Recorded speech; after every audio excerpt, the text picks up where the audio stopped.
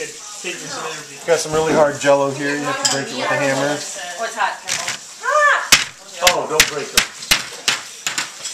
Look at this terribly peeled egg. This is really a random video. You guys are strange. Mm. There's a strange one.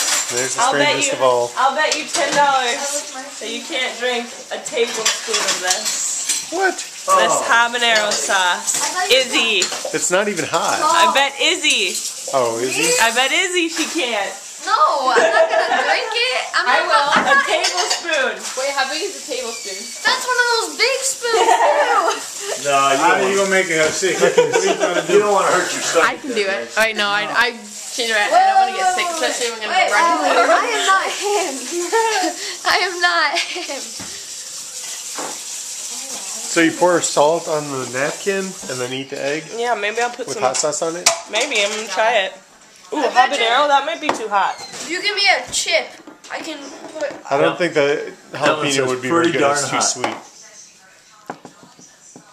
I don't think that sweet and eggy taste would go Sweet and together. salty go together all the time. No. What's she eating? Mmm. Mmm. Not bad. Yes. Cut me one. Cut me one. Not bad at all.